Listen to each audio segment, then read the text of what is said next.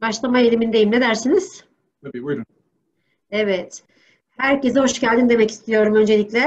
Ee, artık bir geleneksel hale gelen e, Profesyonel Ses Derneği Perşembe seminerlerinden dokuzuncusuna başlıyoruz izninizle.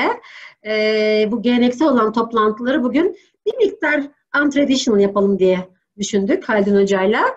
E, biliyorsunuz bu toplantıların organizasyonu e, ve ev sahipliği, moderatörlüğü Haldun Hoca tarafından yapılıyordu. Haftalardır birbirinin ardı sıra çok keyifli sohbetler, e, sunumlar e, izliyoruz. E, ve birbirinden farklı disiplinlerin e, bir araya gelmesi açısından da farklı disiplinlerin sunumlar yap, yapması açısından da çok renkli ve çok keyifli toplantılardı.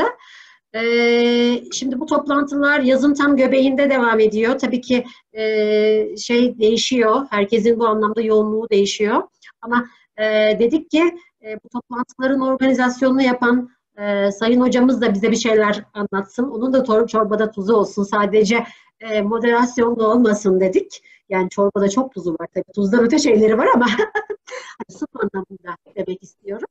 O yüzden böyle bir e, organizasyon yapalım dedik. Sağ olsun Haldun Hoca e, benim model etmem konusunda e, istekli oldu. O yüzden de ben hakikaten çok e, gurur duyuyorum. Bu e, organizasyonun bir parça da olsa benim tuzum olmasını sağladığı için. O yüzden teşekkür ediyorum Haldun Hocam. E, bu perşembe seminerlerini hem düzenlediğiniz için hem e, bu motivasyonu hepimizde oluşturduğunuz için. E, iş koronayla başladı anladığım kadarıyla ama Korona işte bazı kötü şeylerin iyi şeyleri var, iyi yanları var. Ee, şey Profesyonel Ses Derneği'nin 20. yılı olması sebebiyle e, bu düzenli seminer programları aktif olarak e, sürdürüldü. E, şimdi şöyle söyleyeceğim, e, bu moderasyonun bana verilmesinin bir e, alt anlamı ve cümlesi var. Aslında onu da paylaşmak isterim sizinle. Şimdi Haldun Hoca benim çok eski arkadaşım hakikaten. E, hani bir arkadaşımız açısından da çok eski bir arkadaşım ama ondan öte e, laringoloji foniyatri yolunda çok eski bir arkadaşım. E, biz birbirimize laringoloji kardeşi deriz. Bu e, arkadaşlarımız arasında bilinen bir sözdür. Hakikaten öyle. E, beraber bu yolda yürüyüp e, birbirimize e, laringoloji kardeşliği yaptık. Ama onun dışında biliyorsunuz Haldun Hoca hani e, bu e, alanın hem çok emek vereni hem çok katkıda bulunanı hem e, gönülden bağlı olanı. O yüzden de Halil Hocam öncelikle teşekkür etmek isterim size ki bu moderasyonu bugün benim bana e, şans olarak verdiğiniz için. E, şimdi e, tam ne, takip edenler bilir bu Perşembe seminerlerinin kendi içinde bir aslında organizasyonu var. E, şimdi e, Profesyonel Ses Derneği aslında bir çatı dernek biliyorsunuz. Farklı e, alanda çalışan ama ortaklığı profesyonel ses olan farklı meslek gruplarının bir araya gelmesini ve interaksiyon içerisinde olmasını sağlayan bir dernek. E, Haldun Hocam bu derneğin başkanı, şu anki başkanı. E, 20 yıllık bir dernek. Bu derneğin e, yürüdüğü çok önemli yollar ve yaptığı çok dolu güzel bilimsel aktiviteler var. Ama bence bu derneğin en önemli belki amacı ya da e, hedefi bu çatı dernek olması. Farklı meslek gruplarına bir anlamda ev sahipliği yapıp interaksiyonun artmasını sağlaması. Perşembe seminerleri de bu felsefe üzerinden hazırlandı ve devam etti. İşte her hafta e, bir alt grup e, sesin, profesyonel sesin bir kısmından, bir yerinden tutarak aslında kendi paylaşımlarını, kendi tecrübelerini bizimle paylaştılar. Şimdi e, sanırım ki aslında bugün Halil Hoca'nın bize sunacağı sunum derneğin aslında bir anlamda fonksiyonunu e, anlatan, derneğin gözünü anlatan bir sunum olacak. Çünkü e, temelde sık gördüğümüz ses hastalıklarına nasıl yaklaşıyoruz? Tanı için ne yapıyoruz? Kabaca tedavi için ne yapıyoruz? Ve bunu yaparken nasıl bir algoritma içerisinde yapıyoruz e, sunumun temel içeriği. O yüzden de aslında farklı meslek gruplarının hepsinin içinden bir şey bulacağı, bana sorarsanız bir şey de öğreneceği, kendince belki yorumunun olacağı güzel bir sunum olacak. O yüzden de e, tabii ki Haldun Hoca normalde bu sunumlara karşısındaki kişiyi tanıtarak başlıyordu ama ben sadece kişisel perspektifimden Haldun Hoca'yı size anlattım. E, açıkçası e, hepiniz zaten Haldun Hoca'yı çok yakından tanıyorsunuz. Bu Perşembe seminerleri e, Haldun Hoca ile birebir interaksiyonu hepinize bir miktarda olsa sağladı.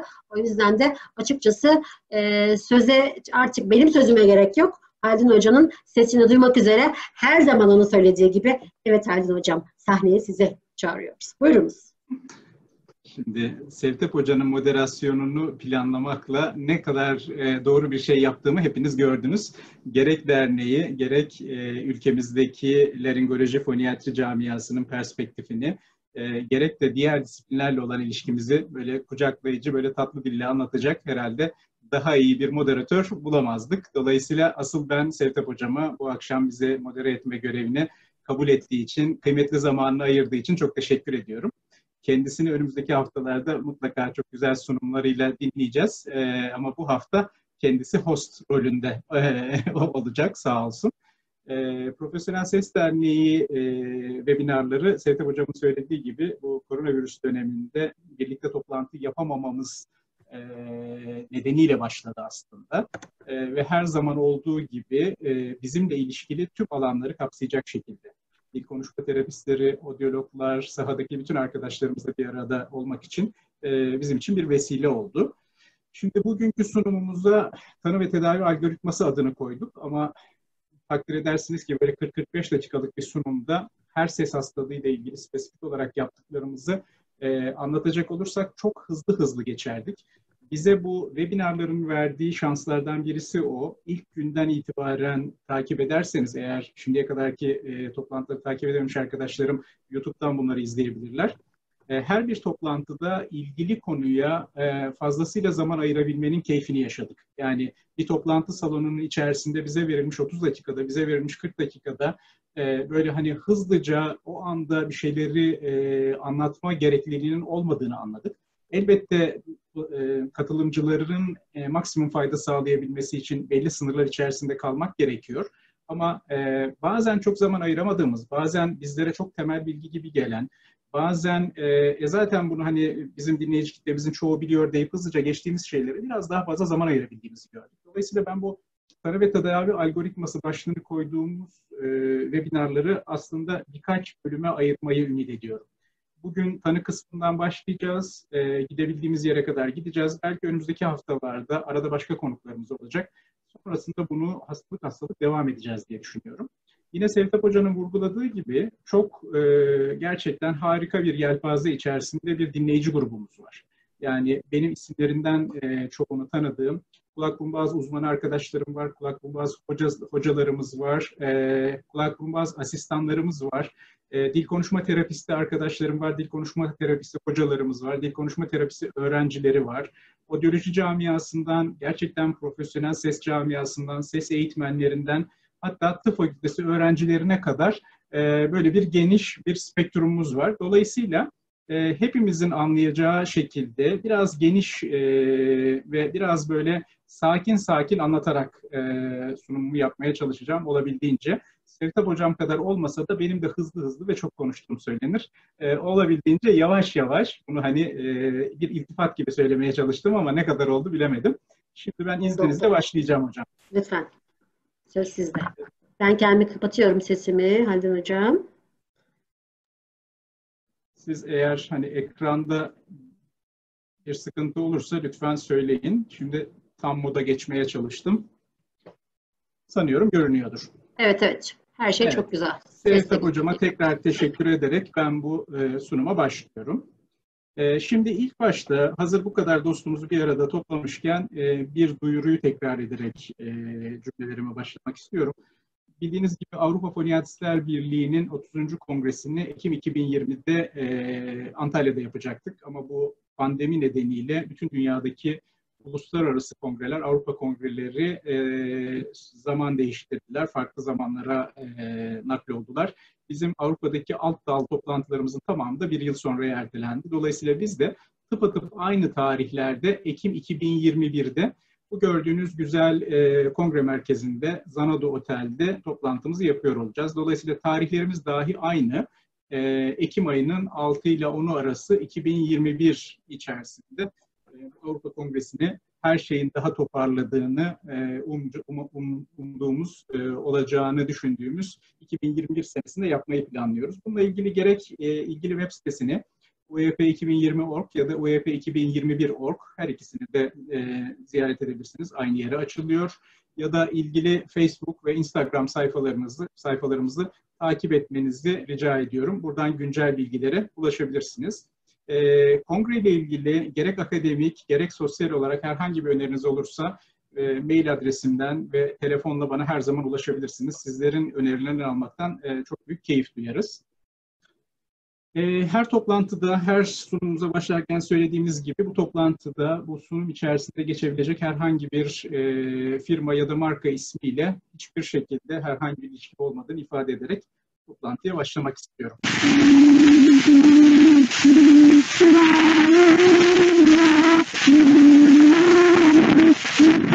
Ben sustum ve bir ses duydunuz. Bu bozuk bir ses değildi. E, sesin orijinal kaydıydı. Bu ses e, bilinen ilk insan sesi kaydı. 1860 yılında yapılmış olan bu kayıt fonotograf adı verilen bir cihaz üstüne kaydedilmiş ve şimdiye kadar bildiğimiz ilk insan sesi. O zamandan beri biz insan sesini tanımlamaya, insan sesi üstünde çalışmaya, insan sesini daha iyi hale getirmeye e, yönelik çalışmalar yürütüyoruz insanlık olarak. Ve o e, o günlerden başlamış olan akademisyenlerin, çalışmacıların yolundan giderek biz de yeni bir şeyler katmaya çalışıyoruz. Bir ses hastası bizim kliniğimize geldiğinde, bir, hasta, bir ses hastasını değerlendirmemiz gerektiğinde kafamızdaki yol haritası bu, algoritma bu. Yani tanı açısından benim e, takip ettiğim, benim düşündüğüm yol haritası bu. Hasta önce geldiğinde bir kere e, bize sesiyle ilgili problemini ifade etmiş her birey bizim için hastadır. E, hasta ilk bize geldiğinde tabii ki önce çok iyi bir öykü almak istiyoruz. Arkasından bireyin problemi nasıl algıladığını anlamaya çalışıyoruz. Yani kendisini bu ses rahatsızlığının ne kadar e, rahatsız ettiğini ve kendisini subjektif olarak nasıl değerlendirdiğini anlamaya çalışıyoruz. Ondan sonra algısal olarak yani kendimiz anlayabildiğimiz kadarıyla biz bu sesi nasıl değerlendiriyoruz? Onun üstes, onun bu yoldan geçiyoruz. Arkasından bir kulak burun boğaz hastalıkları uzmanı olarak tam bir fizik muayene yapıyoruz. Yani tam bir kulak burun boğaz ve baş boyun muayenesi yapıyoruz. Arkasından duyduğumuz sesi objektif olarak değerlendirmeye çalışıyoruz. E, gerek görsel gerek işitsel olarak. Ondan sonra bu bahsettiğimiz aşamaların her birinden elde ettiğimiz verileri bir analiz ediyoruz. Bu verileri bir araya getiriyoruz ve e, mevcut olası tedavi alternatiflerini düşünerek bir tedavi yol haritası belirliyor ve o tedaviye başlıyoruz. Yani kafamızdaki hastanın e, değerlendirilmesiyle ilgili, tanı koyulmasıyla ilgili yol haritası, algoritma bu. Şimdi bunları alt alta birer birer yavaş yavaş açalım. Ses hastaları bize hangi şikayetlerle gelir? Yani hastanın hikayesinde, hastanın öyküsünde neler olur? Tabii ki sesim kısık der. Ama ses kısıklığı aslında çok genel bir tabirdir. Ee, bu ses kısıklığını hasta kendi e, bireysel geçmişiyle, kendi bireysel beklentileriyle, kendisinin günlük hayatta daha önce duyduğu belirteçlerle bize ifade eder. Sesinin soluklu olduğunu söyleyebilir. Solukluluk derken ses çıkarken hani aradan da sanki nefes boşa çıkıyormuş gibi şeyinden bahsedebiliriz. E, gün içerisindeki değişiminden bahsedebilir. İşte sabah kalktığım zaman daha kötü oluyor. Ya da işte belli bir süre kullandıktan sonra yani örneğin bir öğretmense ilk saatlerde derslerde gayet iyi oluyor ama gün içerisinde 3-4 saat ders almaktan sonra sesim yoruluyor gibi ifade edebilir. Ses çıkarırken ya da sesle ilgili herhangi bir aktivite yaparken ağrısı olduğundan bahsediyor. Yani bir süre sonra boğazının, efendime söyleyeyim çenesinin altının, başında farklı yerlerin ağrısından bahsedebilir e, gırtlak bölgesinin, larynx bölgesinin çevresinde bir gerginlikten, ağrıdan bahsedebilir. E, bir şeyi aspire ediyormuş gibi, yani hava yoluna bir şey kaçıyormuş gibi hislerden, boğulma hissinden, boğazının etrafında sanki bir şey birisi sıkıyormuş hissinden bahsedebilir. Yutma ile ilgili, yutma derken illaki yemek yerken, su içerken olmayabilir. Kendi saltılarını yutarken bile olan bir rahatsızlıktan bahsedebilir. Solunumla ilgili bazı problemlerden yakınabilir işte nefessiz kalmak gibi, nefesinin yetmemesi gibi, sesinin titrediğinden bahsedebilir, e, boğazda bir şey takılmış hissinden bahsedebilir. Bunlar daha da çeşitlendirilebilir. E, yani bizi ses hasta, e, bir ses hastasını bize getiren öyküde ses kısıklığı ve yanı sıra farklı birçok e, şikayet olabilir. Şimdi bunu kurgularken e, daha önceden e, bir şekilde kendilerine ders verdiğim, değişik eğitimlerimize katılmış olan ilk konuşma terapistleri arkadaşlarım olabilir, hekim arkadaşlarım olabilir. E, Birçok konuda da kullandığımız benzetmeler aslında. Ben bu buzdağı benzetmesini ses hastalıkları ile ilgili çok severim. Yani bireylerin belli şeylere karşı e, bu e, sporcular için ya da fizik tedavi için de benzer şekilde kullanılabilir. Hiçbir karşı bir direnç e, seviyesi vardır. Yani aslında ses problemimizi başlatan şeyler böyle pıt diye bir anda bir düğmeye basılmış gibi başlamaz. Bunun aslında bir süreci vardır. Dolayısıyla problemin kronolojisini anlamak, yani problemin geçmişini, ilk ne zaman başladığını, nasıl ilerlediğini anlamak çok kıymetlidir. Buzdağı örneği nedir burada? Buzdağı örneği şu. Ee, eskiden olan sorunlardan bahseder mesela. Çoğu hastamız derler ki, işte benim 5 yıldır aralıklarla olan sorunlarım olurdu sesimle ilgili. Ee, işte bir dönem daha fazla olurdu, bir dönem daha az olurdu. Şöyle yaptığım zaman geçerdi ya da şu dönemlerde geçerdi, işte şu dönemlerde artış gösterirdi vesaire. Yani aslında o buzdağının suyun altında kalan e, bazı problemleri vardır bireyin. Bu sesini kullanış tekniğiyle ilgili olabilir, e, geçirdiği rahatsızlıklarla ilgili olabilir, anatomik olarak belli bazı başlı belli e, belli başlı problemleri nedeni olabilir ama bir yere kadar vücut bir yere, bir yere kadar birey bunu tolere eder ve bu bir sorun olmayabilir. Ancak bir noktadan sonra artık bu onu günlük hayatta rahatsız edici hale gelir. Dolayısıyla başlatan nedenlerin ortaya konması çok önemlidir. Yani bir üst solunum yolu enfeksiyonu ardından mı başladı? Örneğin bir artmış ses kullanma ihtiyacı mı oldu? Bu bir meslek değiştirmek olabilir. Meslek içerisinde e, farklı bir alana kaymak olabilir. Bir profesyonel ses sanatçısı için yeni bir e, şeyin, yeni bir aktivitenin, yeni bir performansın e, çalışmalarına başlamak olabilir. Bunu başlatan psikolojik ya da fiziksel bir travma olabilir. Geçirilmiş bir cerrahi gerek cerrahiden doğrudan etkilenerek gerekse o cerrahi için genel anestezi alırken entübasyondan kaynaklanan olabilir. Ve arttıran azaltan faktörler az önce söylediğim gibi bunların tanımlanması öyküyü çözümlemek açısından çok önemlidir. Bu genel sesle ilişkili e, öykünün yanı sıra mutlaka bireyin tıbbi öyküsüne de hakim olmamız gerekir. Biraz sonra anlayacağınız üzere biz bir ses hastasıyla çalışırken, bu aslında bütün klinik branşlarda bence e, hekim arkadaşlarımın kullandığı bir algoritma. E, bireyin olabildiğince sistemik olarak da e, mevcut durumu hakkında bilgi sahibi olmak isteriz. Dolayısıyla e, alacağımız öykü, sesle ilgili öykünün yanı sıra diğer şeyleri de kapsar. Bir kere Yine hep hastalarımla böyle şakalaşırken söylediğim bir şeydir. Neden kulak burun boğaz aynı hekime verilmiştir diye. Çünkü kulak burun boğazla ilgili diğer sıkıntılar yani sadece sesiyle ilgili bir problem için bana başvuran hastamın işitmeyle ilgili bir problemi olabilir. O işitmeyle ilgili olan problemi ses problemini tetikliyor olabilir e, burnuyla, sinüsleriyle, nazofarinksiyle, e, farinksiyle ilişkili her türlü inflamatuar hastalığı yani faranjiti, larenjiti, orta kulak iltihabı, işte burun kemiğinin eğri olması, burun etlerinin büyük olması, alerjik rinitinin olması, sinüsün olması bunların zaten sesin üstüne etkileri olmasını beklediğimiz şeylerdir. Dolayısıyla KBB ile ilgili mutlaka tıbbi ölçüsüne hakim olmak isteriz. Ve diğer bir kere bizimle birinci ilişkide solunum sistemiyle ilgili, gastrointestinal sistemle ilgili ve burada gördüğünüz diğer bütün alanlarla ilgili de hastanın mutlaka tıbbi öyküsünü sorgularız. Bunları tabii ki böyle tek tek tek tek sormak gerekmeyebilir ama işte başka bir rahatsızlığınız var mı, düzenli kullandığınız bir tedaviniz var mı gibi e, hastanın hastanın daha kolay cevaplayacağı alanları açmak çok önemlidir. Tıbbi öykün içerisinde mutlaka kullanılan ilaçlar özellikle sorgulanmalıdır. E, bunu apayrı bir e, seminer halinde bir gün mutlaka yapalım. Örneğin Sevtap Hoca'nın bununla ilgili ben çok daha önce e, çok güzel bir sunumunu dinlediğimi hatırlıyorum. Değişik ilaçlar yani üst solunum yolu enfeksiyonu için kullanılan basit dekonjestanlar, değişik alerjiler nedeniyle kullanılan antihistaminik ilaçlar, e, vücuttaki inflamasyonları, iltihapları tedavi ettiğini düşündüğümüz aspirin ve ilişkili non-steroid antiinflamatuarlar, her türlü steroid yani sistemik kullanılan yani parenteral olabilir, ağızdan olabilir, inhaler olarak kullanılan, kullanılan steroidler ve burada isimlerini gördüğünüz ve buradakilerle sınırlı kalmayacak şekilde neredeyse birçok ilaç hastanın sesini olumsuz olarak etkileyebilir. Cerrahi öykü iki yönden önemli. Az önce söylediğim gibi. Birincisi geçirilen cerrahinin fiziksel problemleri, bir kere ses kalitesini etkileyen şeyler yol açabilir.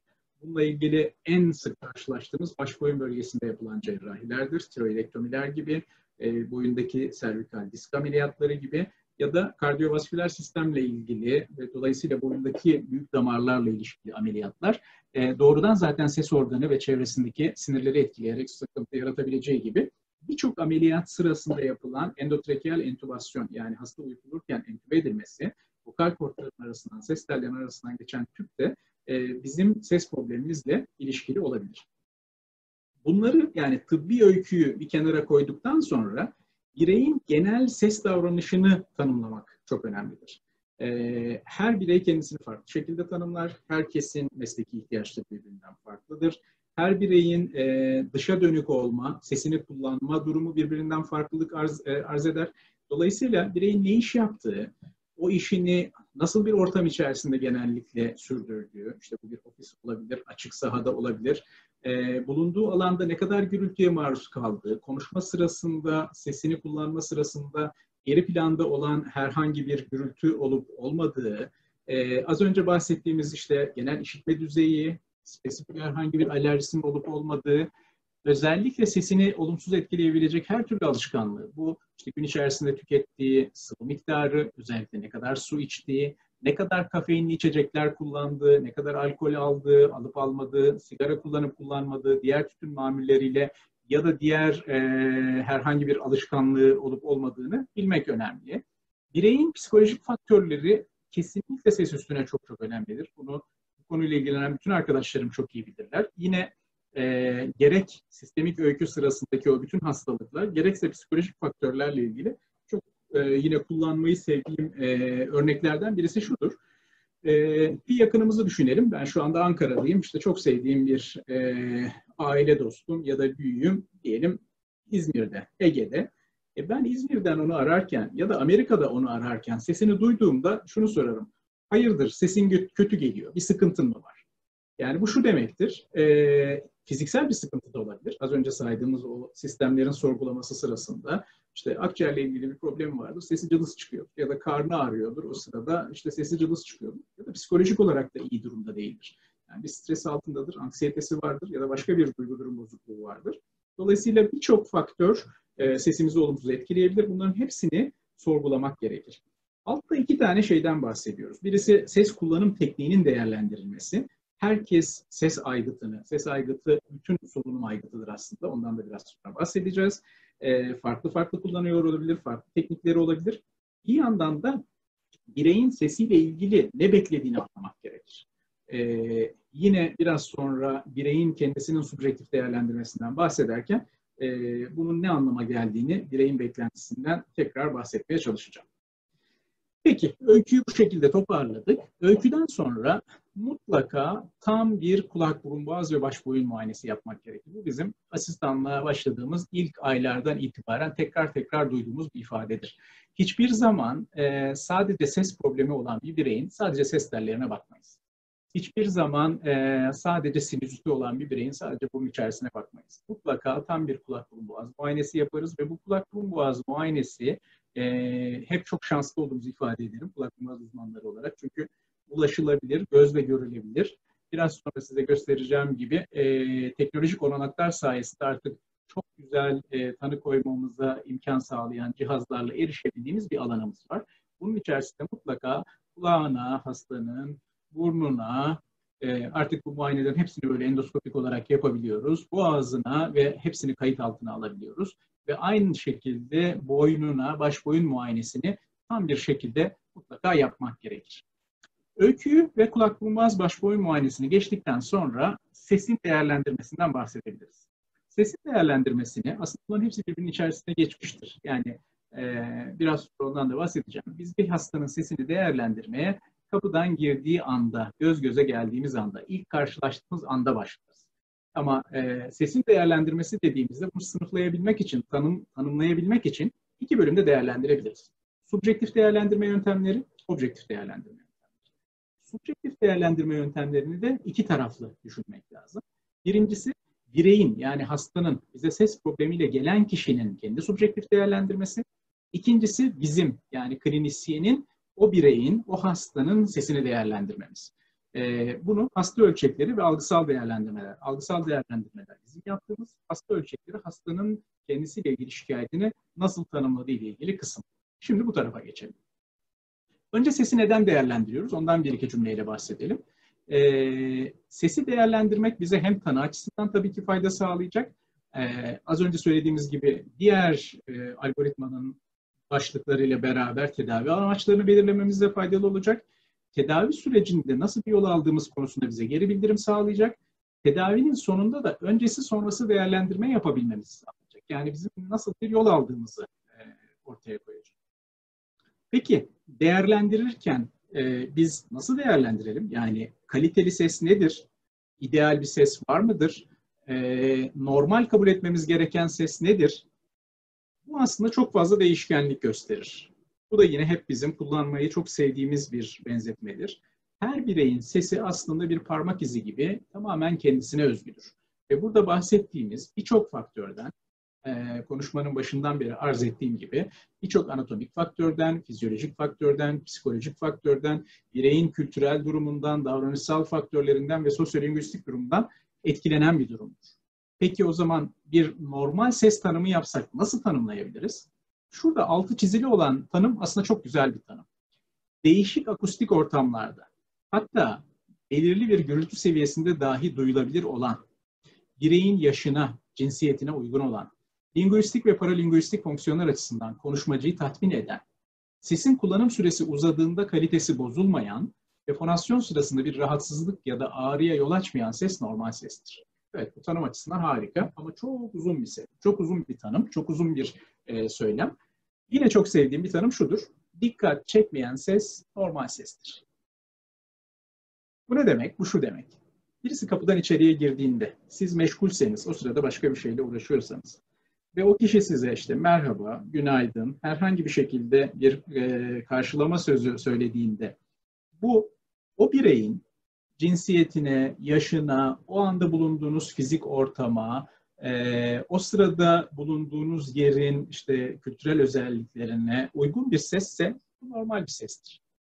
Ama o sırada sizin irkilmenize yol açan, giren kişinin işte bahsettiğimiz fiziksel özellikleriyle uyum göstermeyen, dikkat çeken bir ses normal bir ses değildir. Genellikle zaten hastaları bize getiren de odur.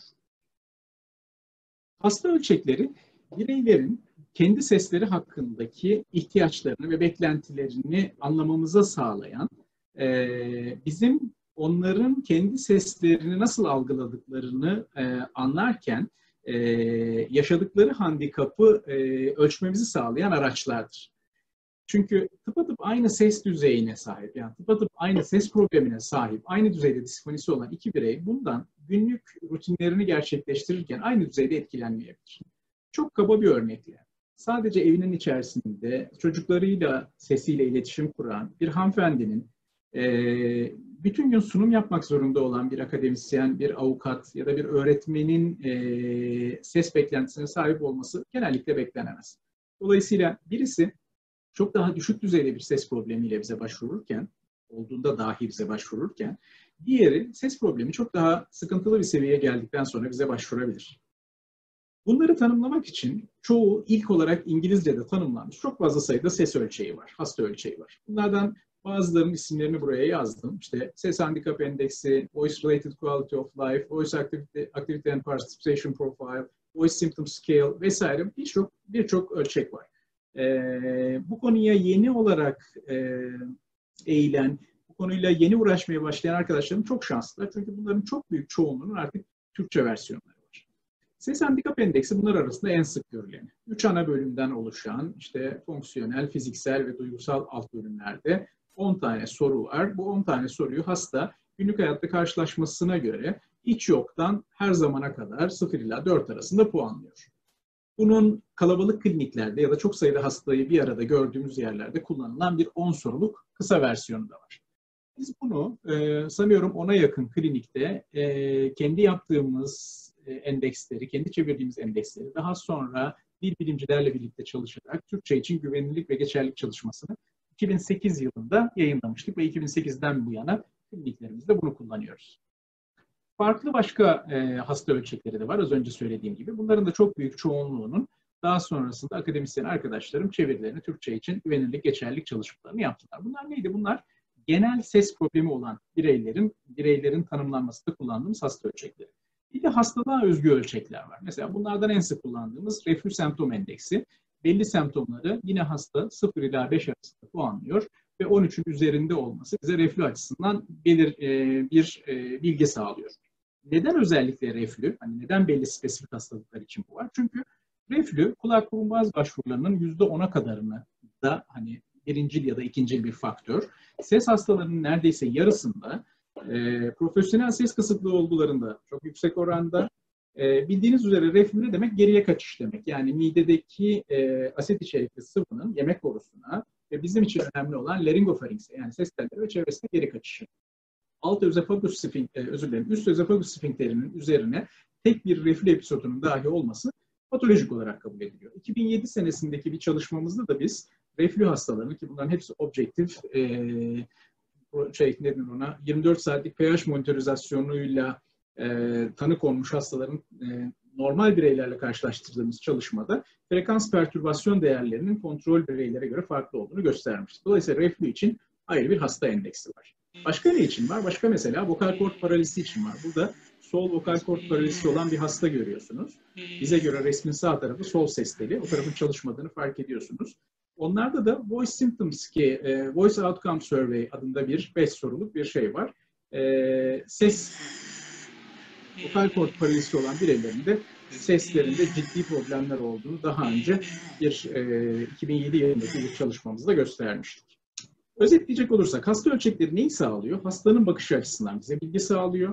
Hastayla iletişimimizi kolaylaştırıyor, standartize ediyor. Dolayısıyla ortak amaçlar belirlememize yardımcı oluyor. Bu neydi? Ses değerlendirmesinin subjektif değerlendirmesi ve subjektif olarak hasta tarafından değerlendirmesi. Bir de bizim algısal değerlendirmemiz var. Yani subjektif değerlendirmemiz var. Ama bizim değerlendirmemiz dediğim gibi sadece sesi dinleyerek değil. Biz hastamızı gördüğümüz andan itibaren onu değerlendirmeye başlarız. İşitsel olarak mutlaka sesini değerlendiririz. Ama muayenemiz sırasında da az önce bahsettiğim baş boyun muayenemiz sırasında da algısal olarak değerlendirdiğimiz şeyler vardı. Şimdi dolayısıyla klinisyenin algısal değerlendirmesini üç bölüm altında konuşmak isterim. Görsel değerlendirme, dokunmayla değerlendirme ve işitsel algısal değerlendirme. Görsel, de, görsel değerlendirmemiz aslında bir insanla karşılaştığımız anda başlar. Yani az önce söylediğim işte yaşı, boyu, ağırlığı, mimiklerini nasıl kullandığı, cildinin durumu, kişisel hijyeni, giyimi, baş boyun postürü vesaire bunların hepsi bize aslında bireyin e, ses probleminin olası nedenleri hakkında da fikir verir. Dolayısıyla genel görünümü, postürü, işte solukluğu nasıl kullandığı, kas iskelet geriliminin durumu bize fikir verebilir. Başka görsel olarak ne hakkında fikir elde edebiliriz? Nörolojik durumu hakkında. Dengesi ne durumda, herhangi bir asimetri var mı, e, nasıl davranıyor, herhangi bir distonik bir durum var mı gibi hani birçok şeyi bir anda aslında bunların alt alta düşünmeden bir anda değerlendirmeye başlarız. Başka demin söylediğimiz boyun muayenesi. Bu muayenemizin bir parçasıdır. Hastanın öyküsünü aldık. Kafamızda, aklımızda tanısıyla ilgili bir şeyler zaten oluştu.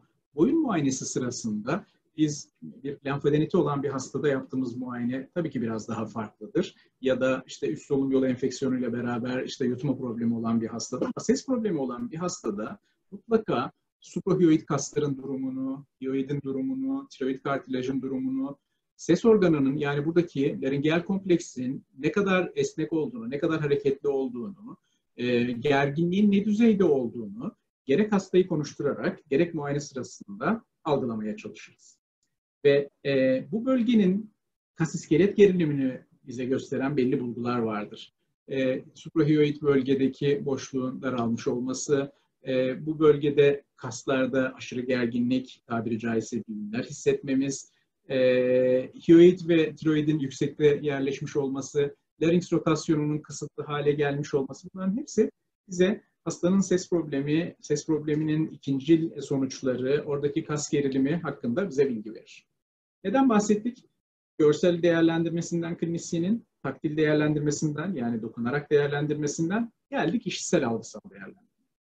İşitsel algısal değerlendirmede de duyduğumuz sesi belli parametrelere göre puanlarız. Bunlardan en sık kullanılanı bu GRBAS sınıflaması. Nedir bunlar? Burada gördüğünüz gibi G grade'i gösteriyor. Yani ses bozukluğunun genel tanımı. R roughness yani düzensizliğin bir e, bizde bıraktığı psikoakustik izlenim. E, B breathness yani solukluluk, vokal kortların kapanmaması nedeniyle ekspirasyon havasının yani soluk verme havasının vokal kortlar tam kapanmadığı için o bölgeden geçerken bıraktığı solukluluk hissi. İki, e, son ikisi de güçsüzlüğü ve aşırı kasılmışlığıyla ilgili asteni ve strain ile ilgili. Bunlar bir sesi dinlediğimizde, bu herhangi bir ses olabilir. Dinlediğimizde burada bir ses örneğimiz var. Dünyası. Jale 6 yaşında şirin, cıvıl cıvıl ama nazlı bir kız çocuğudur. Ee, hem bunu hem ben üzerine konuştuğumda Zoom'da karışma olduğunu biliyorum. Onun için şimdi susturdum. Herhangi bir ses örneğini dinlediğimizde bunu 0 ile 3 arasında puanlıyoruz. İşte bu GRBAS sınıflamasına göre. Hiç bozukluk yoksa 0, ileri bozukluk varsa 3 olarak ifade ediliyor.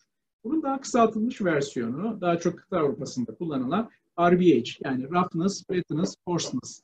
Bu da e, GRBAS'in GRB'si gibi düşünelim. Üçü yine 0 ile 3 arasında kodlanarak algısal değerlendirme olarak kullanılabilir. Bununla ilgili de bir çalışma yapmıştık biz. 2012 senesinde Helsinki'deki Avrupa Laringoloji Kongresi'nde sunmuştuk.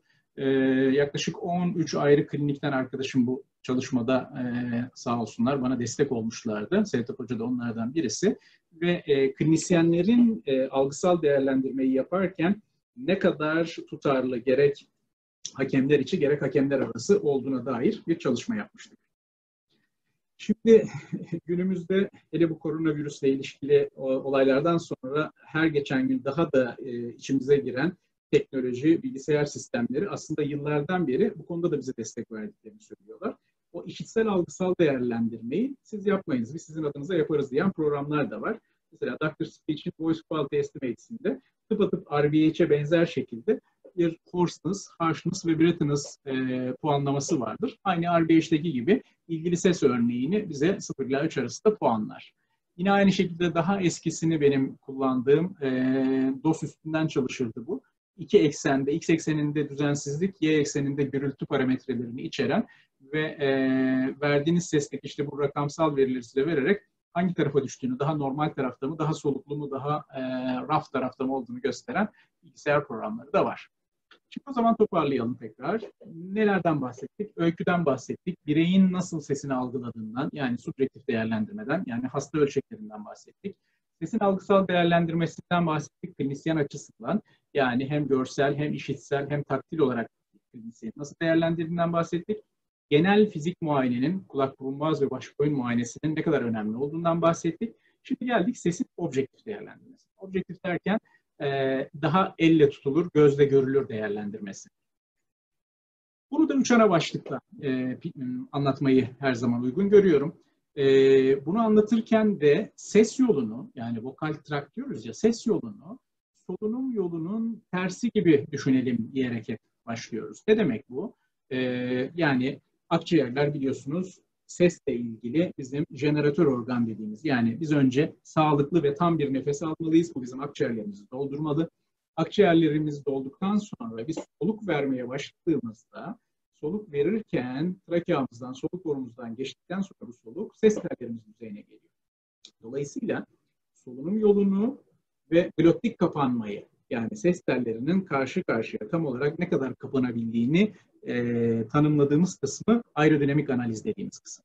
Ondan sonra ses organının yani laringsin değerlendirilmesi, özellikle görsel değerlendirilmesi, ikinci kısmı objektif değerlendirmenin. Üçüncü, üçüncü kısmı da son ürünün yani sesin akustik e, olarak analizi, sesin analizi. E, ben bunları da en çok üstünde konuştuğum hep laringsin değerlendirmesi olduğu için hızlıca aerodinamik analizden bahsettikten sonra akustik analizden bahsedeceğim. Ondan sonra da laringsin değerlendirmesine geçeceğim. Aerodinamik analizde e, üç tane ana veri elde ediyoruz. Birisi akciğerin hacmiyle ilgili veriler. İkincisi akımla ilgili veriler. Üçüncüsü basınçla ilgili veriler. Bu verilerin yanı sıra bunların herhangi bir şekilde içerisinde kullanıldığı formüllerle ayrıca ikincil veriler de elde ediyoruz. Aerodinamik analizde doğrudan ölçümler yapılabildiği gibi işte krikotiroid başlı boşluktan iğneyle kateterle ölçüm yapılması gibi bunlar daha invazif şeyler. Doğrudan olmayan plethysmografik ölçümler de yapılabiliyor. Aerodinamik ölçümlerde az önce arz ettiğim gibi havanın akım hızı, hacim ve basınçla ilgili bazı veriler elde edilebilirken kombine ya da ikincil olarak tanımlayabileceğimiz bazı veriler de elde edilebiliyor. Bunların hepsi için değişik formüller var. Bunlar içerisinde konuyor ve bize e, belli sonuçlar veriyor. Bunun için tanımlanmış değişik, e, bunun için e, yapılmış e, değişik firmaların e, sattığı ticari ürünler var. Bunlardan herhangi birisi aerodinamik analiz için kullanılabilir. Sesin değerlendirmesi sırasında aslında en çok ihmal ettiğimiz, en az ihtiyaç duyduğumuz ya da e, kısım aerodinamik analiz kısmı. Çünkü klinikte bizim çok basit bir testimiz, herhangi bir cihaza ihtiyaç olmayan maksimum fonasyon süresi dediğimiz, maksimum phonation time dediğimiz e, test bize gerek e, akciğerlerin kapasitesi, gerekse glottik kapanmanın yeterliği konusunda fikir verebiliyor. Nasıl yapıyoruz bunu? Derin bir inspirium aldıktan sonra, derin bir soluk almadan sonra bireye e, bir uzun sesli, genellikle A sesini çıkarmasını söylüyoruz. Ve bunu makul bir sayıda tekrar ettiriyoruz. Bunlar arasında en uzun süre olanı not alıyoruz. Diyoruz ki hastanın maksimum fonasyon süresi şu kadardır. Ve bu bize glottal kapanmanın etkinliği hakkında e, gerçekten klinikte faydalanabileceğimiz bir e, değerde bilgi veriyor. Son kısmı, Larynx değerlendirmesini en sona bırakacağımızı söylemiştik. Akustik analiz kısmı. Şimdi insan sesinin, e, insan sesinden elde ettiğimiz o akustik sinyal, son ürün aslında karmaşık bir ürün. Çeşitli tekniklerle, burada detaylarına girmeyeceğiz. Bu sinyal belli bileşenlere ayrılabiliyor ve bizim klinikte daha kullanabileceğimiz, bizim için daha kullanışlı belli bazı parametreler şeklinde verilere dönüşebiliyor. Ancak akustik analizle ilgili altını tekrar tekrar çizmemiz gereken en önemli kelime bence standartizasyon kelimesi. Yani e, alana yeni olan, bu konuda çalışmak isteyen bütün arkadaşlarıma en önemli önerim şu. Yeter ki siz standartize kayıtlar yapın. Bunların üstünden istediğiniz şekilde çalışma yapabilirsiniz. Yani sizin kayıt ortamınız aynı ortamsa, sizin kayıt için kullandığınız hardware yani ekipman aynıysa, aynı mikrofon, aynı kablo, aynı USB jack, aynı bilgisayarsa, kullandığınız, kayıt için kullandığınız ses örnekleri aynıysa, uzatılmış sesler olabilir, standart metinler olabilir e, ve değerlendirme şekliniz aynıysa, o zaman siz herhangi bir konuda öncesi sonrası e, çalışması yapabilirsiniz. Yani bir ses terapisi etkinliğini, çöz, e, etkinliğini mi test etmek istiyorsunuz? Yaptığınız cerrahinin öncesi sonrası sonucunu görmek istiyorsunuz objektif olarak? Bunlar standartize olduktan sonra biz çalışmalar yapabiliriz. Ne elde ederiz? Akustik analizin sonunda elde ettiğimiz veriler nelerdir? Yani o bir laboratuvar kağıdı gibi düşünürsek kan veriyorum, kan değerleri çıkıyor. İşte ses verdiğim zaman da, ses kaydı aldığım zaman da çıkan bazı veriler var. Bunlardan birincisi temel frekans. Yani ses tellerinin saniyedeki titreşim sayısı. E, ortalama temel frekans konuşma sırasında erkeklerde 100 ila 150 Hz, kadınlarda ortalama 180 ila 250 Hz. Bunun birimi saniyedeki döngü sayısı yani cycles per second ya da hertz olarak ifade ediliyor. Değişik seslerden, genellikle bizim uzatılmış seslerden, işte uzun bir A deyiniz diyerek kaydediyoruz. Ama tabii ki bir konuşma sesinin içinden de ya da bir okuma metninden de e, frekans analizi yapılabilir. Frekansın e, normalden, ortalamadan sapmasını ifade eden pertürbasyon dediğimiz e, değer jitter. Yani ardışık periyotlar arasındaki frekans değişikliğini ifade eden terim jitter. Jitleri tanımlarken e, karşılaştırmak için kullandığımız ardışık frekansların sayısına göre farklı e, software'lerin, farklı bilgisayar programlarının farklı e, nasıl diyelim raporlama isimleri var. Yani absolut jitler, yüzde jitler, işte RAP jitler, PPQ jitler gibi bunlar aslında işte 3, 5, 7, 9, 11 tane ardışık frekans içerisindeki o frekans e, ardışık periyot içerisindeki frekans değişimini bize veren rakamsal değerler. Bunların yine aynı şekilde söyleyelim. Standartize olduktan sonra bunlardan herhangi birisini çalışma için kullanabiliriz. Jitlerde de e, birim ne oluyor? Bu taraftaki cycles per second olunca her birine göre aslında yüzde oluyor ya da mikrosaniye oluyor. İkincisi gürlük yani intensite. E, gürlükte birim desibel. Tabii ki buradaki e, gürlük, şiddet farklı şekillerde ifade edilebilir ama intensite herhalde daha doğrusu. E, tabii ki mikrofonla uzaklığın mutlaka sabit olması lazım çünkü uzaklık değiştiği anda buradaki desibel değişecektir. Aynı e, frekans için konuştuğumuz şeyler yani e, frekans pertürbasyonuna jitler diyoruz, intensite pertürbasyonuna şimmer diyoruz. Şimdileri de farklı şekillerde işte ABS şimmer, e, APQ3, APQ, APQ5, APQ11 gibi yani kaç tane ardışık e, siklosu işin içerisine kattığımızda ilgili olarak değişik şimmer değerleri elde edebiliyoruz. Yine en sık kullandıklarımızdan birisi harmonik gürültü oranı ya da gürültü harmonik oranı. Farklı e, şeyler, farklı denklemler kullanılarak farklı software'ler bunu tanımlıyor. Bu aslında doğrudan e, sinyali ve gürültüyü birbirine oranlayan bir şey değil. Biraz daha karmaşık bir formül. Ama her mekanik e, şeyde nasıl diyelim sistemde biliyorsunuz kullanılan enerji aslında bir sinyal üretsin diye e, kullanılır. Yani bizim organlarımızı, bizim ses yolumuzu bir sisteme, bir e, makineye benzetecek olursak bizim aslında son ürün olarak elde etmek istediğimiz şey ses. Ama sesimizi elde ederken bir miktarda gürültü ortaya çıkıyor. İşte harmonik gürültü oranı ne kadar yüksekse yani harmonikler gürültüden ne kadar iyiyse e, bunun daha etkin bir sistem olduğunu düşünüyoruz. Ha, frekansla e, şiddeti, frekansla gürülüğü aynı şey içerisinde e, gösteren e, voice range profile ya da fonetogram adı verilen grafikler var. Bakın burada x ekseninde frekanslar var ve y ekseninde de e, gürlük var. Bu böyle bir e, diamond shape, böyle bir e, eşkenar üçgen şeklinde ortalama bir insanda. Basit bir programla, bu Prat'la yapılmış bir analiz. Ne kadar duyuluyor sesi bilmiyorum ama yaklaşık buradan gördüğümüz kadarıyla yaklaşık 3 saniyelik bir sesten ortalama temel frekansı, minimum ve maksimum temel frekansları, ilgili jitter değerlerini, şimmer değerlerini, harmonik gürültü oranını görebiliyorsunuz. Bu 3 saniyelik e, şeyle 2.92 saniyelik bir e, ses kaydıyla bütün bu verileri elde edebiliriz. Ha bir de e, her konuda olduğu gibi hani hap bir bilgi olsun, tek bir rakam olsun ve bireyin ses problemini anlatsın dersek bunun içinde yapılmış formüller var. E, disfoni endeksi var, bir de disfoni şiddet endeksi var.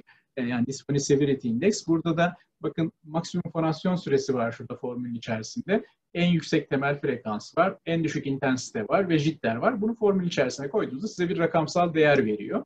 Artı 5'e doğru yaklaştıkça daha normal, eksi 5'e doğru gittikçe ileri derecede disfonik bir sesi bize ifade ediyor.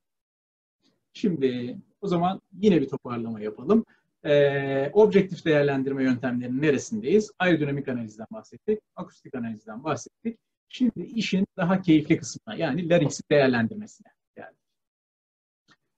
Larynx'i nasıl değerlendirebiliriz? Buradaki larynx'i değerlendiren genç e, adam benim.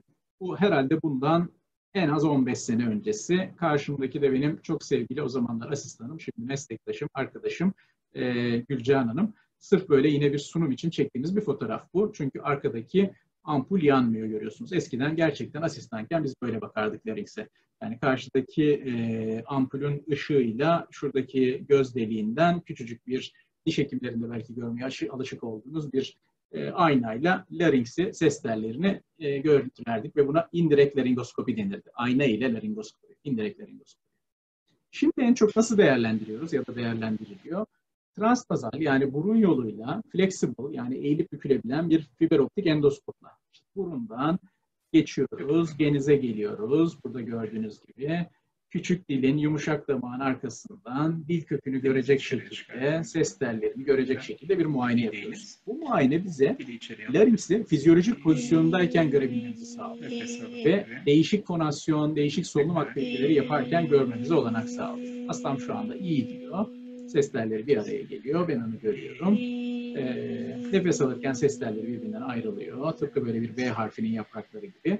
Ve ben bunu izleyebiliyorum. E, ağızdan muayeneler hasta için bazen zor olabiliyor. Örme refleksini tetikleyebiliyor. Dolayısıyla flexible fiber optik inceleme bizi normal ses yolunun fizyolojik pozisyonundayken görme imkanını sağlıyor. Ancak flexible laringoskopi ile ilgili küçük handikaplar var. E, nispeten artık daha eski bir teknoloji. E, eskiden kameraya bağlanamaz iken ya da hala öyle kullanıyorsak sadece küçük bir göz e, şeyinden bakarsak e, gözlemleme noktasından bakacak olursak belli şeyler gözden kaçabiliyor. Dolayısıyla muayene sırasında altını çizdiğimiz çok önemli bir nokta. Eğer biz o az önce bahsettiğimiz öykü alma aşamasında, sesin subjektif değerlendirmesi aşamasında orada mukozada bir problem olduğunu düşünüyorsak ve muayenemizde onu e, açıklayacak her e, yeterli düzeyde kanıt bulamadıysak o zaman öyle genel geçer işte geniz akıntınız var reflünüz var, kronik larenjitiniz var gibi şeyler hemen demek yerine bu muayenenin bir sonraki aşamasına, bir sonraki e, merdivenin bir sonraki basamağına geçmek. Yani gerekiyorsa rigid endoskopiyle yani sert endoskoplarla bakmak, mümkünse stroboskopi yapmak gibi bir sonraki daha kaliteli görüntüleme yöntemine geçmek e, çok daha doğru olacaktır. Görüntüde ne kadar seçebiliyorsunuz bilmiyorum. Tıpatıp aynı hastanın flexible endoskopla ve rigid endoskopla aynı marka flexible endoskop ve aynı marka rigid endoskopla görüntüsü e, sağ taraftaki seslerindeki şu küçük patoloji, şuradaki bu küçük patoloji. Bu da çok daha kolay gözden kaçabilecek bir patoloji. Bir sonraki aşama ya da en çok kullandığımız şey ne? Rigid endoskopi. Rigid endoskopiyi 70 ya da 90 derecelik teleskoplarla yapıyoruz. Stroboskopi sırasında bunun fotoğrafını göstereceğim. Bunlar e, her geçen gün kalınlıkları azalmakta. Larynx için kullandıklarımız genellikle 5.8 ila 10 milim kalınlıkta.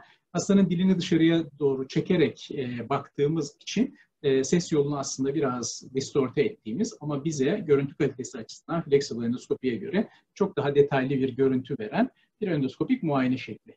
Tabii rigid endoskopiye, işte bu rigid endoskopideki pozisyonumuz, e, larynx'in ameliyathanedeki görüntülemesi gibi hastanın postürü çok önemli. Yani e, belden öne doğru bir fleksiyon, e, boyundan geriye doğru bir ekstansiyon. Hastanın dili elimizdeyken e, diğer elimizde de laringoskopumuz var.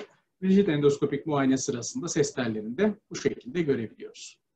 Tabii buna eğer stroboskopik ışık kaynağı eklersek, stroboskopi biliyorsunuz bir ışık aydınlatma tekniği, bunu durduralım.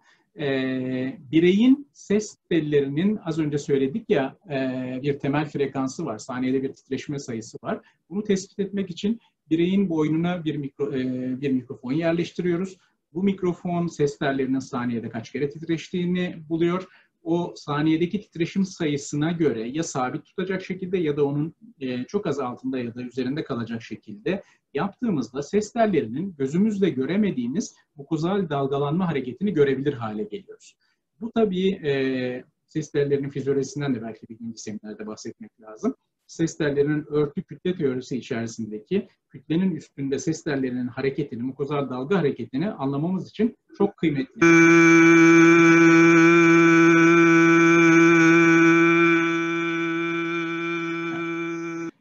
Stroboskopik muayeneyi eğer e, belli standartlar dahilinde yaparsak, yani onu değerlendirmenin de belli formları var, o zaman gözümüzden bir şey kaçma olasılığı daha da azalıyor. Videolaringostroboskopi sırasında, şimdi rigid muayeneden bahsediyoruz, yani 70 derecelik ya da 90 derecelik bir endoskopla hastamız bu pozisyonda otururken, biz muayenesini yaparken bir yandan da stroboskopik bir ışık kaynağına bağlıyız. Bakın hastanın boynunda mikrofonu var, burada stroboskopik ışık kaynağına bağlı ve biz neyi elde ediyoruz? Neler görüyoruz? Onlarca parametre. Bazıları sadece rigid endoskopi ile ilişkili şeyler bunların. Yani ses kıvrımlarının genel görüntüsü, işte rengi, damarlanması vesaire gibi. Ya da işte sekresyonlarının durumu, sekresyonun koyulduğu, mevcut sekresyon miktarı gibi. O sesi çıkarırken ses tellerinin üstündeki yapıların supraglottik, ses teli seviyesine glottik diyoruz. Supraglottik yani ses telleri üstündeki yapıların ne kadar kompresi olduğu, ne kadar daraldığı, bu ön arka e, eksende de olabilir, lateral eksende de olabilir, ventriküllerden de olabilir. Ön komüstürün, arka komüstürün durumu, e, ses telinin titreşimi sırasında herhangi bir adinamik segment olup olmadığı, herhangi bir lezyon varsa yeri, bunun boyutları, Glottal kapanmanın paterni, hastalıklardan bahsederken bunların hepsinden bahsedeceğiz. İşte bir nodül düşündüren, kist düşündüren, stokus düşündüren e, herhangi bir patern var mı kapanma sırasında? Elbette vibrasyonun frekansı, ses tellerinin e, serbest kenarının yani iç medial yüzeyinin durumu vesaire vesaire onlarca parametreyi bunlar hem e, rigid endoskopinin hem bize stroboskopik ışık kaynağının verdiği imkanlar. Şimdi stroboskopi ne kadar kıymetli? Ben şunu önce bir göstereyim. Bakın gene benzer şekilde tıpatıp aynı marka endoskop, aynı markanın flexible endoskopisi sol taraftaki, sağ taraftaki de stroboskopik muayenesi. Her iki ses telinin üstünde beyaz lezyonları olan yani lokoplazisi olan bir hastanın e, flexible endoskopik ve rigid endoskopik görüntüsünü görüyorsunuz. Videolaringostroboskopik ve flexible endoskopik görüntüsü. Daha uzun bir aydınlanmış.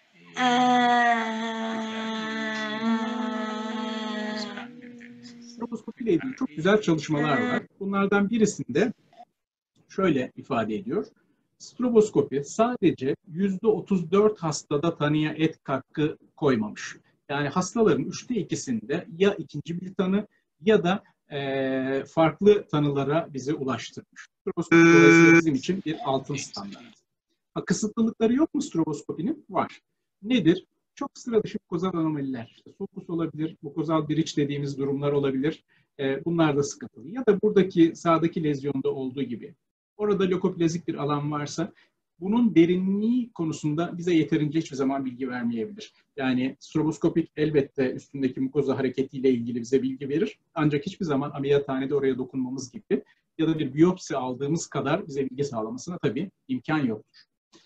Şimdiye kadarki bilgilerimiz aslında işte son birkaç yıla kadar ya da son 5-10 yıla kadar rutin hani aklımızdaki plan bu şekildeydi. Ama algoritmadan bahsederken e, mutlaka yeni bir chapter açmamız gereken, yabancıların deyimiyle hani oyun değiştirici olan, game changer olan durum bu transnazal flexible endoskopi. Ya da e, az önceki de tabii ki burundan ve flexible bir endoskoptu ama kamerası e, şeyin ucunda olan, endoskopun ucunda olan, istel çipi ya da çip on tip dediğimiz endoskoplar. Bu arada bu fotoğraf bizim korona günlerinde nasıl e, laringoskopi yaptığımızın fotoğrafı. Tıpkı bir ameliyathaneye girer gibi e, üzerimizde boks önlüğüyle, işte N95 maskemizle, siperliğimizle, hastamızın maskesi üzerindeyken maskenin üstünden açtığımız küçük bir delikle flexible endoskopisini gerçekleştiriyoruz. Bu zor günlerde sahada olan bütün sağlık çalışanlarına, başta hekim arkadaşlarım olmak üzere tabii e, kolaylıklar diliyorum. E, hem bilgisayardan ses benim sesim geldiğinde sorun olduğu için bunu kısaca ben size anlatıp sonra susacağım. Bu sayede şimdi flexible endoskopun ucunda kameranın olması sayesinde bir high definition görüntü elde edilebiliyor. Bunun da görüntü kalitesi her geçen gün yeni cihazlarla artıyor. O sırada yüzlerce fotoğraf çekme imkanımız oluyor ve aynı zamanda rigid endoskopi ile eskiden sadece yapabildiğimiz o stroboskopik incelemeyi de yapabiliyoruz.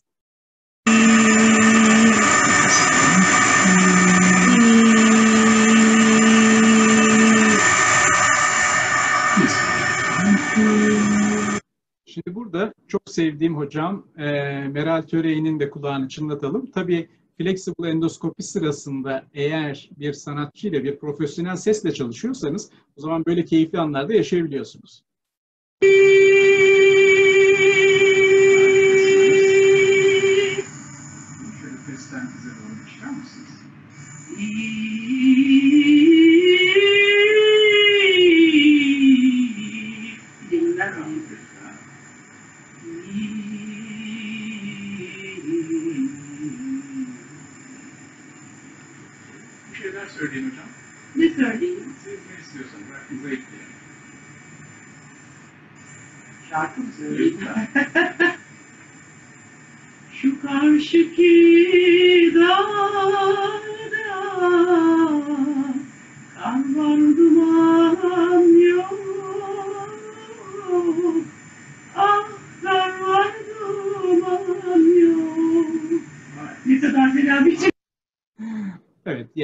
Sesin e, nasıl diyelim karşımızdaki e, kişi şarkı söylerken dahi stroboskopik bir şekilde bunu takip edebiliyoruz. Yüksek rezolüsyonlu bir şekilde bu.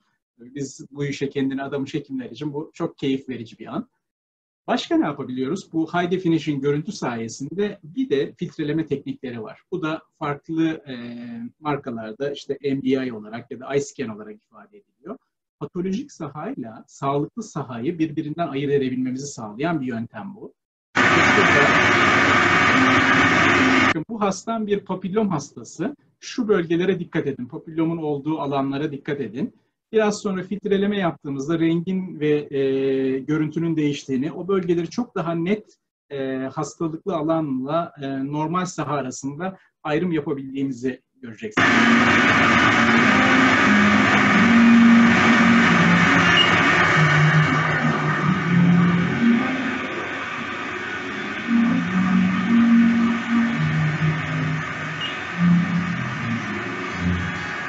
Bu şekilde vasküler yani damarlanması artmış olan lezyonlarda normal alanla çok kolay sınırların ayırt edebilmesini sağlayan, bizim çok işimizi kolaylaştıran bir teknik açıkçası.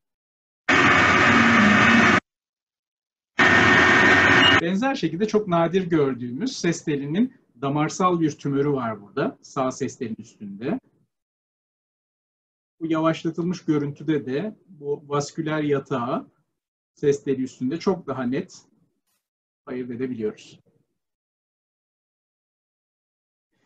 Ve tabii bir diğer muayene yöntemi bizim için her zaman ameliyathanede mikrolaringeal görüntüleme. Yani mikroskop altında bakarken hastamıza, hastamız uyumuşken bir tüp yardımıyla biz onun ses tellerine ulaşmışken bir de mikroskop altında yüksek görüntüleme, yüksek e, büyütme ile o bölgeyi çok daha fazla, çok daha detaylı görebiliyoruz. Genellikle postürümüz bu şekilde. Hastamız uyurken biz oraya karşıdan bakıyoruz. Mikroleringo cerrahi de yani mikroleringoskopik muayene de daha doğrusu bizim için çok kıymetli. Neden? Yani her ne kadar elimizin altında bu teknik olanaklar olsa da yani videolaringostroboskopi, işte distal çipli flexible endoskopik muayene hiçbir zaman mikroskop altındaki o üç boyutlu görme, oraya dokunma, altına bakma, üstüne bakmayla ilgili bilgi bize tabii sağlamıyor. Dolayısıyla herhangi bir şüphemiz olan durumda biz hep hastalarımıza şunu söyleriz. Ee, arkadaşlarımıza da uzmanlık eğitimleri sırasında aynı şeyi söyleriz. Direkt laringoskopi yani ameliyathanede mikroskop altında muayene e, etmek de bizim için her zaman önemli muayene aşamalarından birisidir. Bununla ilgili bir çalışmayı da Sevtap Hocam'ın öncülüğünde beraber yapmıştık. 2015 senesinde European Archives'da yayınlandı. Bakın burada hastaların yaklaşık yarısında ek lezyon tespit edilmişti. Ya bunlar tabii ki bazıları küçük lezyonlar olabilir. Sukus gibi, işte bir mikroweb gibi vesaire ama mikro cerrahi, az önce stroboskopinin diğerlerine ne kadar üstünde olduğundan bahsetmiştik. Üzerine distal çiftliği muayenenin stroboskopi ve diğerlerine olan katkılarından bahsettik. Mikroskopik muayene de bizim için çok kıymetli bir muayene yöntemi. Tabii mikroskopik muayene sırasında burada gördüğünüz gibi hasta direkt endoskopi altındayken endoskoplar da kullanabiliriz. Endoskopik olarak da o bölgeyi değerlendirebiliriz.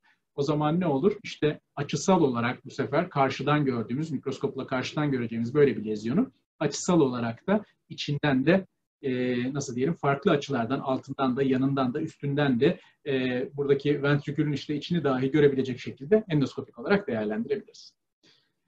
Nispeten hala laboratuvar düzeyinde kalmış. Henüz klinikte kullanamadığımız yöntemler de var. İşte ses telinin tek bir noktasını gerçek zamanlı olarak görüntülememizi sağlayan videokimografi gibi. Videokimografiyi de daha sık kullanır hale geldiğimizde stroboskopiden daha avantajlı olacağız. Neden? Stroboskopik muayene için her zaman bir düzenli yani periyodik bir ses kaynağına ihtiyacımız var ki işte o bahsettiğimiz seslerin temel frekansını bulalım. Ona göre bir muayene yöntemi. Burada aperiyodik durumları da değerlendirebiliyoruz. Ya da yüksek hızlı dijital görüntüleme gibi burada saniyede 8 binlere varan sayıda fotoğrafla ses telleri mevcut hareketinden çok daha yavaş hareket eden şekilde detaylı olarak görüntülenebiliyor. Bunlar da herhalde önümüzdeki yıllarda daha çok kullanacağımız yöntemler olacak. Bütün bunların hepsini toparlayacak olursam sanıyorum bir saati geçti şu anda toplantımız. Sevtap Hocam da beni hiç bölmedi sağ olsun.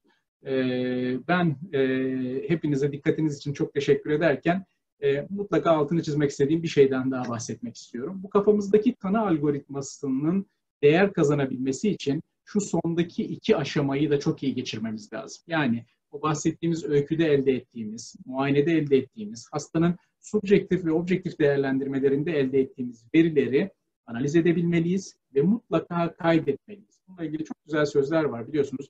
Binlerce yıl öncesinden gelen yazılmamış şey yapılmamıştır ve söz uçar, yazı kalır. Dolayısıyla mutlaka bunları artık yazı derken verinin korunmasından bahsediyorum. Yani hastanın ses kaydının olması, hastanın görüntü kaydının olması, hastanın muayenesiyle ilgili bir hekimin notlarının mutlaka olması gibi bunların hepsi bir arada olduktan sonra eğer doğru bilgi birikimine sahipsek doğru tedavi yol haritası çizer ve hastalarımıza daha faydalı oluruz. Hepinize ilginiz, sabrınız için çok teşekkür ediyorum. Ee, çok teşekkürler Seyit Hocam. Aydın Hocam ağzınıza sağlık. Ee, hakikaten tam bir saatimiz geçmiş. Ee, süreye tam uyduğunuz için çok teşekkür ederim. Ee, ama su gibi aktı hakikaten süre çünkü çok keyifliydi. Konuşmanız teşekkür ediyorum. Ee, şimdi hani neredeyse aslında laringoloji foniatrinin e, hepsini e, bir e, cerrahisi dışında e, bir sunumda toparladınız. O yüzden hakikaten teşekkür ederiz. E, şey çok güzel bir sunumdu. E, ben çok keyif aldım kendi adıma. E, şimdi e, size birkaç tane soru sormak istiyorum. Vaktimizi çok uzatmadan ama çünkü hani, e, farklı meslek dallarından e, katılımcılarımız var. O yüzden de bir dolu soru geldi. Ama bu soruların bir kısmı daha sonraki e, toplantılarda cevaplanacak diye ben onları hiçbir şekilde not aldım. Size ulaştıracağım. E, ama birkaç tane soru üzerinden ufak bir tartışma yapalım derim. Şimdi önce şunu sorsam, bir izleyicimiz sordu. E, ses ölçeklerinden bahsettiniz.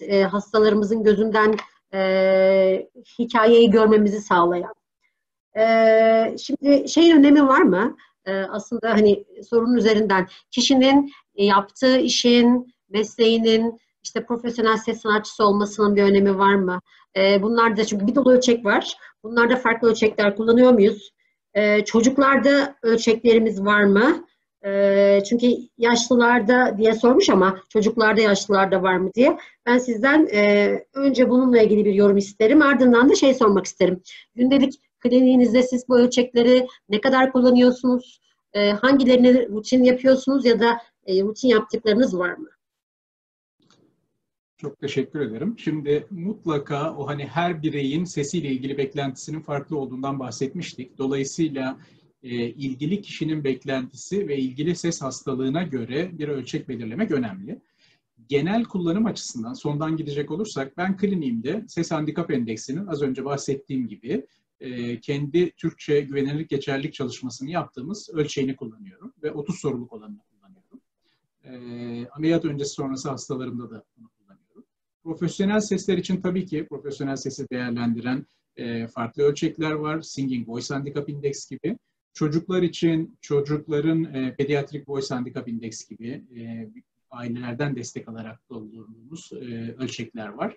E, hastalığa spesifik olanlarda özellikle e, klinisyenliğimizin daha erken yıllarında gerek akademik çalışma için gerek tanı koyarken reflü semptom endeksi gibi şeyleri tabii daha çok kullanıyorduk.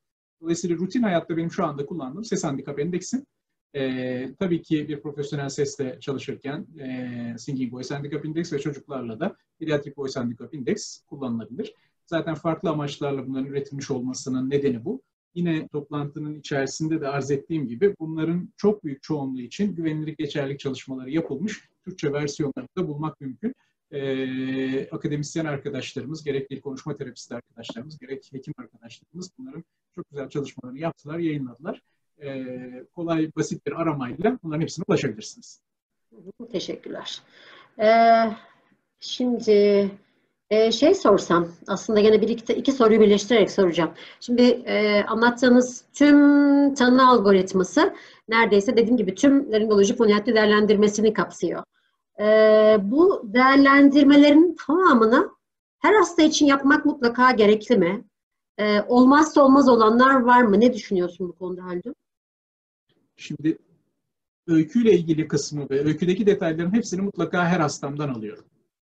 Yani genel sesle ilgili olan öyküsü, tıbbi öyküsü, alerjisi, alışkanlıkları, kullandığı ilaçlar vesaire mutlaka ve bunları da yazarak kaydediyorum. E, dolayısıyla yıllar sonra dahi buluştuğumuzda ben o verilere sahip oluyorum. E, bahsettiğim gibi eğer sıra dışı bir hani durum söz konusu değilse ses handikap endeksini mutlaka almaya çalışıyorum. E, muayene sırasında her geçen gün flexible endoskopik muayeneyi yani bu distal çipli flexible endoskopik muayeneyi daha çok kullanıyorum. E, gerçekten bireylerin e, muayene olmaya karşı davranış paternleri de değişiyor, beklentileri de değişiyor. Eskiden rigid endoskopiyi neredeyse her hastamızda kullanırken şimdi neredeyse flexible endoskopiyi her hastamızda kullanıyoruz. Ee, ama e, ameliyat yapacağım hastalarda genellikle hem rigid hem flexible endoskopik muayeneyi yapmaya çalışıyorum. Flexible derken hep çip tip muayeneden bahsediyorum. E, akustik analizi bir şekilde bir tedavi programına girecek isek yani işte bir larenjiti olan hastada, kısa süreli bir ses kısıklığı olan hastada değil belki ama ses terapisi programına alacaksak hastamızı ya da bir cerrahi takibi alacaksak mutlaka e, ses kayıtlarını alıyoruz, kenara koyuyoruz ve ihtiyaç olduğunda da e, çıkarıp bunları akustik analizini de yapıyoruz. Dolayısıyla Şimdi bu gerçi... algoritmanın içerisinde hemen hepsi e, yani kendi yerini buluyor. Ee, belki şey yeri gelmişken genç e, hekim arkadaşlarımız ve asistan arkadaşlarımız var izleyicilerden şeyin de altını çizmek lazım. Ee, özellikle e, belki ses kaydı almanın e, mediko-legal açıdan çok büyük önemi var. Ee, bunun hani e, basit bir e, kayıt olabileceği gibi işte organize bir kayıt şeklinde de olabilir ama özellikle ameliyat e, planlaması yapılan hastalarımızda ameliyattan önce mutlaka ses kaydının alınması bence çok önemli. Bunun altını çizelim isterim özellikle. E, çünkü e, bazen hakikaten e, hastalarımızın hatırladığı sesle gerçek sesleri ya da bizim hatırladığımız sesle e, gerçek ses arasında olumlu ya da olumsuz yönde şeyler olabiliyor. Farklılıklar olabiliyor. Yani bunu sadece olumsuz anlamda söylemiyorum. Bizim de kulaklarımız her zaman e, çok iyi hatırlayamayabiliyor. E, bir şey daha var. Bir yine hekim arkadaşımız galiba sormuş olmalı. Şey soruyor. Her vokal kort muayenesi e, öncesi mutlaka topikal anestezi kullanıyor musun? E, kullanıyorsak özellikle flexible için sormuş. Hangi ajanları e, kullanıyorsunuz diye sormuş. Aslında onu da her geçen gün daha az kullanıyorum. Yani eskiden neredeyse her rigid muayenesinde, her rigid videolaringoskopik muayene sırasında e, topikal anestezi, işte e, isim vermemize herhalde sakınca yok. Çok fazla çünkü muadili yok. Xylocaine yani lidocaine, lidocaine %10'luk kullanıyorduk. E, ama her geçen gün daha az ihtiyaç duyuyorum. Flexible endoskopik muayenelerimde mutlaka dekonjestan kullanıyorum. E, ve dekonjeste ettikten sonra hastayı yaklaşık 15-20 dakika mutlaka bekliyorum. Onun ardından çoğu hastada özellikle sadece muayene amaçlı, bunu Sevtep Hoca ile biz değişik platformlarda defalarca konuşmuşuzdur. Yani sadece muayene, sadece tanı amaçlı kullandığımızda genellikle anestetik bir ajana çok ihtiyaç olmuyor. Ama detaylı değerlendirme gereken bir foniatri hastasında yani gerçekten o ses teli dinamiğini görmek istediğimiz bir profesyonel ses kullanıcısında, fokus düşündüğümüz bir hastada, işlerin daha zor olduğu hastalarda e, anestetik ajan kullanmak hastanın konforunu gerçekten çok arttırıyor. Hastanın konforunun artması da zaten bizim muayene kalitemizin artması, oradan elde ettiğimiz bilginin artması, e, dolayısıyla daha fazla faydalı olmamız anlamına geliyor. E, ben ne kullanıyorum bunun için? Ben bunun için hazırlattığım bir %2'lik lidokain solüsyonu var. Eczanede hazırlattığım. O %2'lik lidokain solüsyonu sprey olarak burundan kullanıyorum. İhtiyaç olursa dediğim gibi ağızdan da %10'luk lidokain solüsyonu kullanıyorum ama kullandığım hastam herhalde %10 ve altındadır. Yani her geçen gün daha az hastada e, anestetik ajan kullanma ihtiyacı duyuyorum. Ee, yine yeri gelmişken o zaman şeyden bahsedelim. Şu korona dönemine, pandemi dönemine e, ait hazırladığımız bir e, şeyimiz vardı. E, raporumuz vardı. Nasıl yapılmalı bu dönemde? E, flexible muayene sırasında, rigid muayene sırasında anestezik uygulamalar ve muayene nasıl olmalı diye. E, hekim arkadaşlarımıza e, bunu e, gözden geçirmelerini önerelim. E, ben de buna bir katkıda bulunacağım. E, yine koronanın e, belki e, getirdiği bir yenilik anlamında söyleyebilirim. Ben öncesinde her hasta için şey e, senin e, bu söylediğin %2'lik lidokain solüsyonunu kullanıyordum ama işte o raporumuzda biz ilk başlarda özellikle koronanın e, pandeminin çok yoğun olduğu dönemlerde burun spreylerinin kullanılmasını çok önermemiştik. Aerosol üretimini arttırıyor ve e, bulaşıcılığı arttırıyor diye. E, ama e, jel kullanımına e, daha güvenli bulmuştuk. E, öyle olunca ben bu dönemde neredeyse tüm hastalarımda hemen hemen her hastamda diyeyim yani bir ya da iki istisna çıktı sadece. E, sadece jel kullandım. Ve açıkçası kendi tecrübem için söyleyeyim. Jel kullanımıyla sprey kullanımı arasında e, çok büyük bir fark bulmadım. Hastalarımda benzer konforu oluşturduğumu e, düşünüyorum. O yüzden e, yavaş yavaş hani topikal anestezik sprey kullanmaktan e, uzaklaştığımı da itiraf etmem lazım. Belki şeyin de altını çizmek lazım hazır yeri gelmişken. E, flexible endoskopide burun geçişleri konusunda sabırlı olmak lazım. E, özellikle burun geçişi sırasında hastanın canını acıtırsanız ya da bir şekilde irite ederseniz sonraki muayenenin geri kalan kısmı daha zor oluyor. O yüzden orada sabırlı olup e, dekonjestanla belki biraz bekleyip endoskopiyi öyle yapmak daha mantıklı olabilir diye düşünüyorum. Bence de çok haklısınız. Şimdi e, aslında belki bu koronavirüs döneminde kulak burun boğaz hekimlerinin kıymeti daha da anlaşıldı. E, şunun için söylüyorum. E, biliyorsunuz bu koronavirüsle ilgili PCR e, şeylerini alırken, örneklerini alırken hastanın nazofarinksine dokunmaya çalışıyor hekim arkadaşlarımız ya da sahada işte hemşire arkadaşlarımız ya da bu şeyi alanlar, e, bu örnekleri alanlar hastanın nazofarinksine dokunmak her zaman düşündüğümüz kadar kolay olmayabilir. Yani o kadar çok hastada değişik şekillerde septum deviyasyonları vardır ki bunu KB uzman arkadaşlarım zaten hani çok iyi biliyorlar. Sadece diğer disiplinlerden olan arkadaşlarıma konuyu ifade etmek için söylüyorum. Bunun ortasındaki işte bu septum adını verdiğimiz kıkırdak kemik yapıyı biliyorsunuz. Ve dış duvarından kaynaklanan konkalar yani burun etleri var. Bunlar o kadar değişik modifikasyonlar içerir ki bazen çok küçücük bir hamp yani tabanda olan bir küçük bir fazlalık kıkırdakta ya da kemikte sizin bir şekilde e, elinizdeki o kültür çubuğunun ya da bugünkü örneklerden bahsedecek olursak flexible endoskopun arka iletilmesini çok zorlaştırabilir. O bahsettiğim dekonjesyon sonrası 15-20 dakika bekliyorum ifadesi onun için yani konkaların e, dekonjeste olması, oradaki mukozanın e, daralarak, hacmi açarak bize geçiş imkanını sağlaması hastanın konforunu çok arttırıyor. Sevtap Hoca'nın belirttiği e, hastayı e, burun geçişi sırasında rahatsız ederseniz ifadesi o kadar önemli ki çünkü e, hastanın daha önce yaşamadığı bir deneyimden bahsediyoruz. Yani bu bizim için her gün defalarca yaptığımız bir muayene ama herkes her gün flexible endoskopik muayene olmuyor. Yani diş hekimi koltuğuna bile oturduğunuzda hani kolay ulaşılabilir bir yerde bile ne kadar rahatsızlık yaşadığınızı düşünün. O flexible endoskop geçerken septumda ya da konkada bir noktaya temas etmesi e, yine hep hastalarımla şakalaşırken kullandığım bir ifadedir. Bizim bu flexible endoskopi çok duygusal bir muayenedir. Yani insan hep gözünden yaş getirir. Dolayısıyla zor bir şeydir ve bir de gerçekten detay görmek istediğiniz işte bir ses teli kanseri hastanız olabilir, bir sukkusu olan işte ya da bileyim bir profesyonel ses olabilir. Detaylı zaman geçirmeniz, uzun zaman geçirmeniz, orada dakikalarca kalmanız gereken durumlarda hastanın uyumunu çok kolaylaştırır. E, dolayısıyla e, çok önemli. Bu arada jelle ilgili katkı da çok önemli bence. Çünkü flexible endoskopi sırasında işte o spreylemenin e, de değişik şekillerde bireyi uyarabiliyor, irite edebiliyor. Bu işte koronavirüs döneminde aerosol oluşturmasıyla da daha e, diyelim önemli hale geldi. Jelle benzer kalitede iş yapabiliyor olmamız çok önemli. Bu arada Seyitep Hocam yine herhalde söylemeye şey yok. Ee, Murat sormuş Antalya'dan. Evet, evet, evet gördüm. açarsanız. E, şey, e, lokal anestezik jeller bunlar. E, benim kullandığım katajel.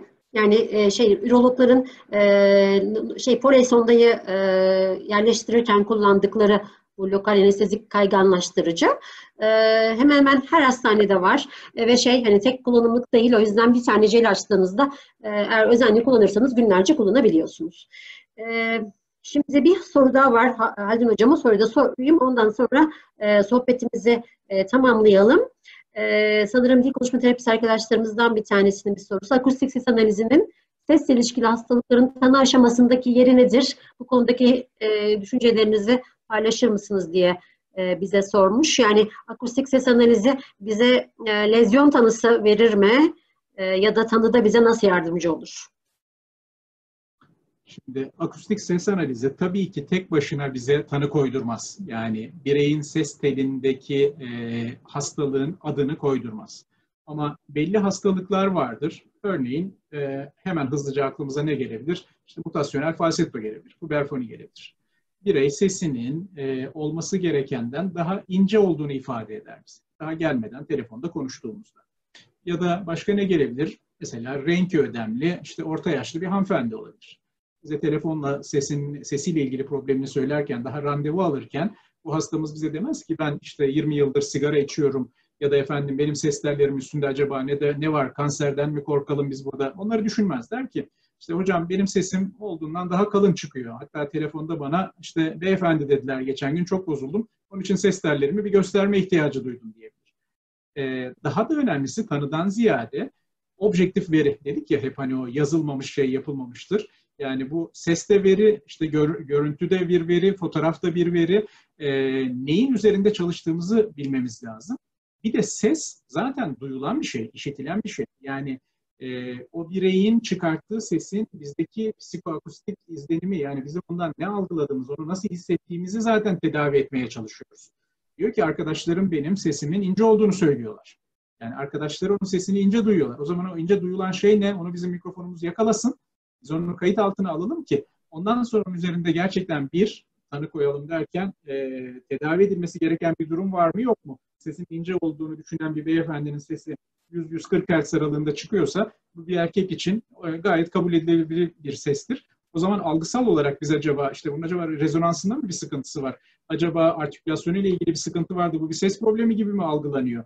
Gibi yani tanı koyarken, ayırıcı tanı yaparken anlamlandırırken e, ve sonrasında da tedavi planlayıp tedavi takip ederken akustik analiz bizim temel e, neyi takip edeceğimizi bilmemizi e, gerektiren, tabii akustik analiz derken sadece analizden bahsetmiyorum. Ses kaydı ve akustik analiz önemli bir parametre. O zaman şey de söyleyelim istersen Aldin Hocam. E, akustik analizine bakarak bu hastanın nodülü var, polipi var demem, demeyiz. hani bize e, nasıl e, lezyonun nasıl davrandığını ya da nerede bozukluk yarattığı hakkında fikir verir e, akustik olarak. Ama e, lezyon tanısı mesela stroboskopi için bunu yapabiliriz. Bakınca ayırabiliriz, söyleyebiliriz. Akustik ses analizinde e, böyle bir tanımlama, tanı yapma şansımız bulunmuyor.